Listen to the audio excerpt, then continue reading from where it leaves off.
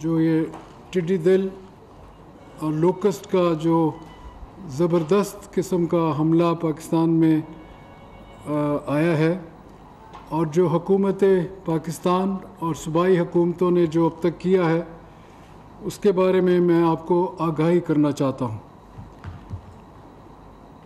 अभी चंद मिनट पहले एक नया इदारा जो ऑनरेबल प्राइम मिनिस्टर जनाब इमरान खान साहब ने तजवीज़ किया था और वो अब काम करना चंद दिनों से शुरू हो गया है। उसकी अभी हमने यहाँ वफाकी सतह पर दूसरी मीटिंग की और इसमें ministry of national food security and research के साथ साथ दो बड़े इदारे जिसमें एनडीएमए और इंजीनियरिंग इन चीफ का अदारा हमारे साथ ताउन कर रहे हैं। वो थे और दूसरी मिनिस्ट्री से नुमाइंदे भी तशरीफ़ लाए हुए थे।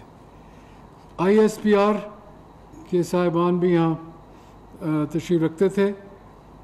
इसका मकसद क्या है? इसका मकसद एक है कि कौमी सतह पर हमने पाकिस्तान के हर शहरी को, चाहे कहीं भी वो बसते हों उनको हमने इस जो हम मुहिम चला रहे हैं पिछले चंद माह से, उनको आगाह करना चाहते हैं और हर एक को चाहते हैं कि इसमें वो शामिल हो। We want to mobilise the people of Pakistan from the village level right up to the national level and we want them to know कि वो उनके लिए, उनकी बेहतरी के लिए और ख़ास तौर पर ये जो ये जो एक तरफ़ तो कोरोना वायरस से तो आपकी आगाही काफ़ी हद तक हो चुकी है पिछले तीन माह से, पर ये जो नया वबा आ रही है लोकस्ट इन्वेजन की, टिड्डी दल जो यहाँ दाखिल हो गई है, और ये कोई सत्ताईस, अट्ठाईस साल के बाद आई है। 92 93 लास्ट टाइम ये इस खत्े में आई थी और ये आती है ईस्ट अफ्रीका से। और ये जो टिड्डी दिल है इसकी जो परवाज़ है वो तकरीबन 90 मील पर आवर है। 160 किलोमीटर के करीब ये घंटे में ट्रैवल करती है। तो वहाँ से ट्रैवल करके ये मिडल ईस्ट आती है और वहाँ से ट्रैवल करती हुई ये ओमान ईरान बलूचिस्तान। पिछले साल भी आई थी और पाकिस्तान की हुकूमत ने इसका बहुत, मैं समझता हूँ, अच्छे तरीके से मुकाबला किया और उसको काफ़ी हद तक एलिमिनेट किया। यहाँ से होकर फिर ये आगे राजस्थान, इंडिया में चली गई। और अमूमन जो पहले होता रहा तारीख में कि यहाँ से हटकर ये पीछे चली जाती थी ईरान और मिडल ईस्ट और अफ्रीका। इस मरतबा जब वापस जा रही थी तो बलूचिस्तान में बारिशें हुई, क्लाइमेट चेंज की वजह से। बर्फ़बारी हुई तो वो जो बेशतर रह गया था इसका रेमनेंट वो यहीं बस गया। और ये बलूचिस्तान में ज़्यादा थल डेजर्ट में, कुछ सिंध में सदर्न पंजाब में, इन तीन जगह पर ये पड़ी रही। और आहिस्ता आहिस्ता इसकी ब्रीडिंग बड़ी तेज़ी से चलती है। ये 200 से 1200 बच्चे एक लोकस देती है। आप खुद सोच लें कि अरबों ये इकट्ठे हो जाते हैं और अभी कोई ये एक माह पहले अफ्रीका में एक मुल्क में इसने पाँच लाख एकड़ तबाह किया।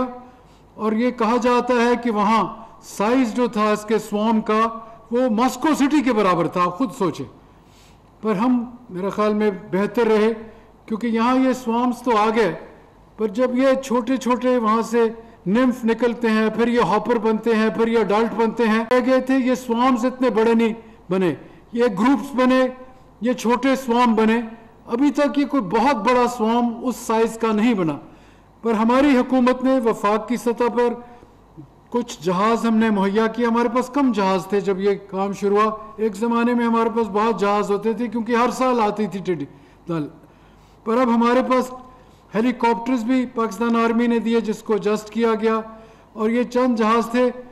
फिर अब जो हालात अब चलते रहे जो मकामी हमारे लोग हैं सूबाई सतह पर और सूबाई हुकूमतों ने उनके जो, ये हैं प्रोविंशियल डिस्ट्रिक्ट मैनेजमेंट अथॉरिटीज़ उसके साथ साथ उनके जो ज़रूरी शोबे के हैं ज़रूरी डिपार्टमेंट्स और उससे, उसके ज़्यादा डिप्टी कमिश्नर्स और उनके साथ हमारे फौजी अफसर, और उनके साथ जवान, और ऑन द ग्राउंड फिर ये रात को जहाँ जहाँ ये एंटर करते थे, और जब रुकते थे रात को तो वो जाकर अज खुद इससे आपको अंदाज़ा होगा कि किस किस्म की कमिटमेंट हमारे मुल्क में रही, कि ये रमज़ान के बावजूद हर रात जहाँ भी ये टिकते थे, वो जाते थे और उसका स्प्रे खुद करवाते थे। असिस्टेंट कमिश्नर्स तहसीलदार साहबान, ज़रात शोबे के साथ जो भी मुंसलिक हैं, उसके साथ army personnel officers of the Pakistan army ये खुद मौके पर होते थे और सारी सारी रात जागते थे और उसके साथ अवाम के लोग भी बहुत से शामिल हो गए क्योंकि उन्हीं का फ़ायदा होता था। उसके बावजूद कहीं ना कहीं इसने डैमेज ज़रूर किया है और हम हम अब कोशिश ये कर रहे हैं कि हर ज़िले में, हर मौजे में, हर विलेज में, हर यूनियन काउंसिल में इसका सर्वे किया जाए। तमाम तर उन इलाकों में, पाकिस्तान के साठ अजला में, साठ अजला में ये जो टिटी दल है, इसका हमला हुआ है। एक सौ तैतीस अजला पाकिस्तान के हैं, तकरीबन निफ्स अजला में तो ये दाखिल होगी, पर इसका, इसको काफ़ी हद तक एलिमिनेट भी किया गया है। और जहाज़ जो होते हैं, अमूमन वहाँ इस्तेमाल किए जाते हैं, जहाँ डेजर्ट हो, रेगिस्तान हो, और वहाँ जहाँ के कोई क्रॉप ना हो। ऑन द ग्राउंड जो ये क्रॉप्ड एरिया होता है, वहाँ आपको अमूमन ये ग्राउंड के जो स्प्रेयर्स होते हैं, बहुत बड़े बड़े स्प्रेयर्स हमारे पास माइक्रोनेर बहुत कम थे, और जो भी थे हमने उनको डिप्लॉय किया, और उसके एनडीएमए ने एक प्रोक्योरमेंट के लिए, इसकी सोर्स एक कंपनी है यूनाइटेड किंगडम में। फरवरी में उन्होंने ऑर्डर किए थे, तकरीबन 87 के करीब माइक्रोनेर वो इंशाल्लाह अगले महीने की आखिर तक आ जाएँगे। और इन्होंने ये भी कोशिश की कि दो कंपनी को कहा कराची में और मुल्तान में कि हम अपने खुद बनाएँ। उन्होंने चंद बनाए हैं वो एक्सपेरिमेंटली अब इस्तेमाल हम कर रहे हैं। उसका फ़ायदा ये होता है कि एक माइक्रोनर का स्प्रेयर जो है वो 300 एकड़ एक दिन में स्प्रे कर जाता है। ये जो हमारे छोटे छोटे स्प्रेयर्स हैं उनके जो हालात हैं वो आ, कुछ हद तक ये आगे चल कर जाते हैं। आज हमें इस चीज़ का एहसास होना चाहिए। We should be conscious of the fact that This is a global situation today, and it has come as a freak incident, and the quantum of the locust, the size of the swarms of the locust in some areas of East, East Africa has been extraordinarily large. Similarly, it's the first time that the locusts have attacked countries in Latin America. They have attacked places like Arizona in the United States. They have attacked in China. They have gone into Iran, they have gone into the Middle East, they've gone into Yemen, they have gone into Oman, they have gone into eight or nine states of India for the first time, up to Orissa, Madhya Pradesh, Andhra Pradesh. They have even gone into uh, UP, Uttar Pradesh, where they had never been before. Normally they used to stick around Rajasthan in this area in the past. So we can now see that this is a larger than one country. Our neighbor Iran has a very large attack right now in three of the different areas. And we are expecting on a very large scale, and this is where we have to be very, very conscious, that in about three to four weeks, the swarms will come in from Iran. We are also told that in the month of June and July, swarms may come in from the Horn of Africa. So we have to be extremely attentive. We have to be on our toes. And we have been extremely uh, we have actually laid the basis. We've ordered six new planes, which we hope will be coming to Pakistan in the next few weeks. Two will come uh, within a month, then two after another eight, ten weeks. And this will give us, overall, we have about five helicopters which are equipped to take this on. And we are hoping that with about 16 plus 1, 17 aircraft in about uh, two to three months' time, we will be able to tackle this uh, major swarms which come into Pakistan in a uh, very coordinated way. The coordination between the provinces, the federation, the federal government has been, I think, by and large, extremely good.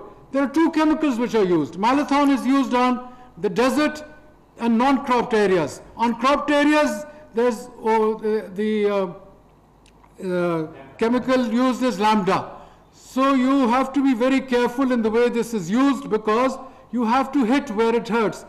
FAO is the guiding force for not only Pakistan, for the rest of the world. The FAO is the Agriculture, Food and Agriculture Organization of the United Nations, and they give us advance information.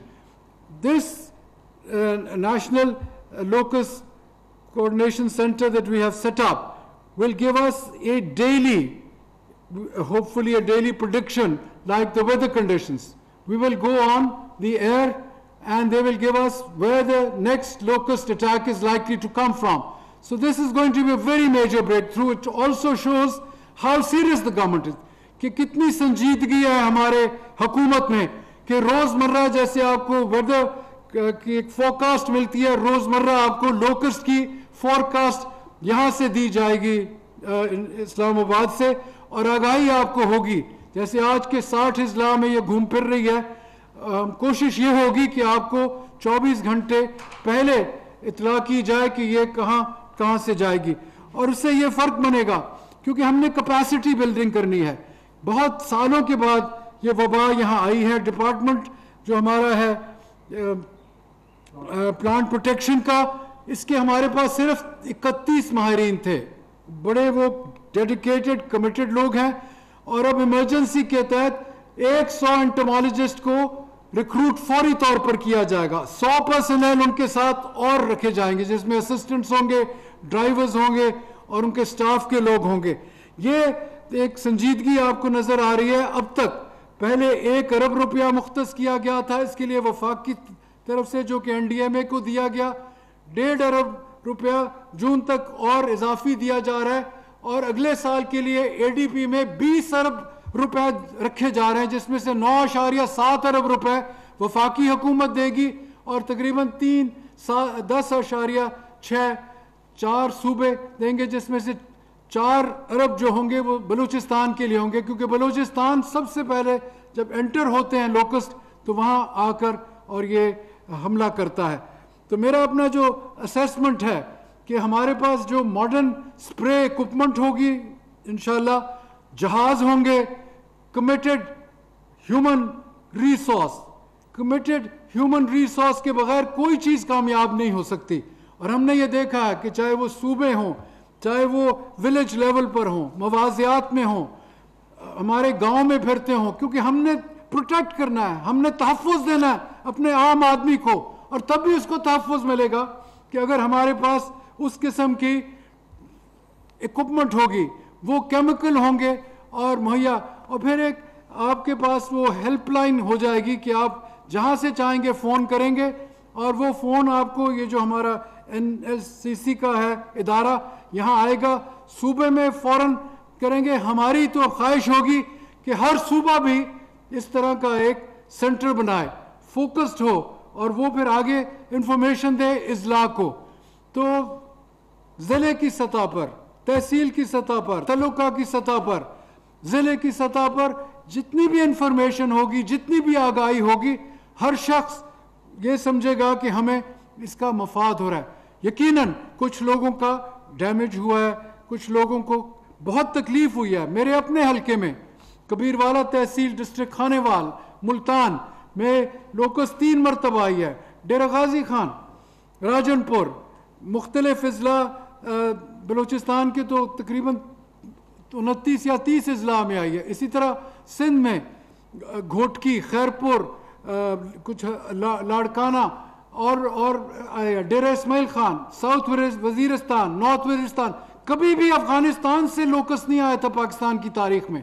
Iran से locus गया अफ़गानिस्तान अफ़गानिस्तान से एक नया corridor बना के north Waziristan south Waziristan Dera Ismail Khan और पंजाब से वहाँ से दाखिल हुआ है। अब आप सोचें कि इसको हमने हर तरफ़ देखना होगा। फिर ये आगे चला जाता है राजस्थान और वहाँ से फिर आगे चला गया इंडिया। अब ये वक्त आ गया है कि आप और हम मिलजुल कर इसको एक कौमी निशाना बनाएँ और ये सोच समझ कर बनाएँ कि इसमें हमने टोटल मोबिलाइजेशन स्टेट की करनी है, अपने कौम की करनी है, अपनी नेशन को हमने उसको बिल्डअप करना है और हर तरफ़ मर्दोजन को ये चीज़ का एहसास होना चाहिए हमारे बच्चे, बच्चों और बच्चियों को भी कि हर पाकिस्तानी ने इसका मुकाबला करना है। मुख्तलिफ़ ममालिक में जब भी क्राइसिस आते हैं, जब भी इमरजेंसीज आती हैं तो कौमें इकट्ठी हो जाती हैं। और यही निशानी होती है, जब कायद अजम मोहम्मद अली जिना ने कहा था यूनिटी फेथ एंड डिसिप्लिन आज वक्त आ गया है कि हर शख्स इस कौम का और हमारे प्राइम मिनिस्टर जनाब इमरान खान एक बहादुर शख्स हैं वो देख रहे हैं कि पहले कोरोना वायरस का मुकाबला किया जा रहा है और अब ये सतह आ गई है और ऐसे फिर और भी चीज़ें आएँगे। कहते हैं कि शायद फ्लड्स भी आए। पर आप और हमने मिलकर बलूचिस्तान में हो, सिंध में हो, खैबर पख्तूनख्वा में हो, पंजाब में हो, यहाँ इस्लामाबाद में हो, कहीं भी हो, आज़ाद कश्मीर में हो, गिलगित बल्तिस्तान में हो, इस कौम को हो हमने इकट्ठा करना है और इन वो दिन दूर नहीं कि हम इसका मुकाबला पूरी तरह करेंगे। शुक्रिया।